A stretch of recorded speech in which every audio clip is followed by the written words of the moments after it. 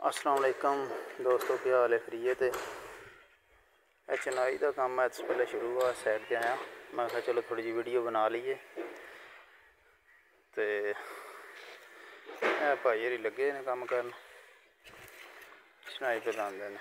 ਉਸ ਵੇਲੇ ਵੀ ਲੱਗੇ ਨੇ ਭਾਈ ਜੀ ਇਹਦੇ ਵਿੱਚ ਸਰਕਾਰ ਦੋ ਕਮਰੇ ਨੇ। ਉਹ ਪਰਾਂ ਵਾਸ਼ਰੂਮ ਹੈ ਤੇ ਉਹ ਪਰਾਂ ਗੈਲਰੀ ਹੈ ਇਹ ਵਾਲਾ ਕਿਚਨ ਬਣ ਗਿਆ।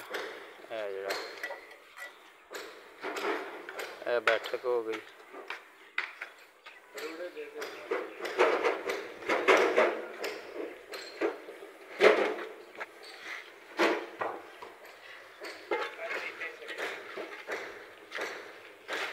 ਇਹ ਮਸਾਲਾ ਲੱਗੇ ਨੇ ਬਣਾਉਣ ਇੱਥੇ ਹੀ। ਇੱਥੋਂ ਮਸਾਲਾ ਵੀ ਲੰਮਦੇ ਨੇ ਉਰਾਂ ਇਹ ਭਾਈ ਜਿਹੜੀ ਚਨਾਈ ਤੇ ਲਾਉਂਦੇ ਨੇ, ਇਹ ਲੇਬਰ ਇਟਾ ਰਹੀ ਉੱਤੇ।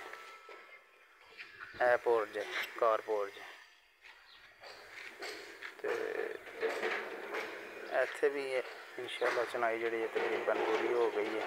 ਥੋੜੀ ਜਿਹੀ ਰਹਿ ਗਈ, ਦੋ ਦਿਨ ਦਾ ਕੰਮ ਤਿੰਨ ਦਿਨ ਦਾ ਹੋਵੇਗਾ ਕੰਮ, ਦੋ ਦਿਨ ਦਾ ਕੰਮ। ਇਸ ਤੋਂ ਬਾਅਦ ਮਜ਼ੀਦ ਸ਼ਟਰਿੰਗ ਇੱਥੇ ਲੱਗੇ ਦੀ। ਫਿਰ ਤੁਹਾਨੂੰ ਸ਼ਟਰਿੰਗ ਦੀ ਵੀਡੀਓ ਬਣਾ ਕੇ ਅਪਲੋਡ ਕੀਤੀ ਜਾਏਗੀ। ਤੇ ਉਸ ਤੋਂ ਬਾਅਦ ਮਜ਼ੀਦ ਸਰੀਆ ਸ਼ਰੀਆ ਵਜੇ ਦਾ, ਉਹਦੀ ਵੀ ਵੀਡੀਓ ਬਣਾ, ਬਣਾਈ ਜਾਏਗੀ। ਉਹ ਵੀ ਤੁਹਾਨੂੰ ਜਿਹੜੀ ਹੈ ਅਪਲੋਡ ਕਰਾਂਗੇ।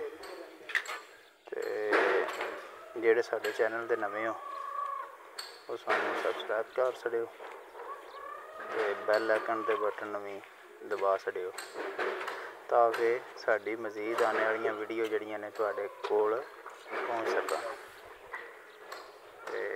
ਮਜ਼ੀਦ ਨੈਕਸਟ ਵੀਡੀਓ 'ਚ ਫਿਰ ਮਿਲਨੇ ਆ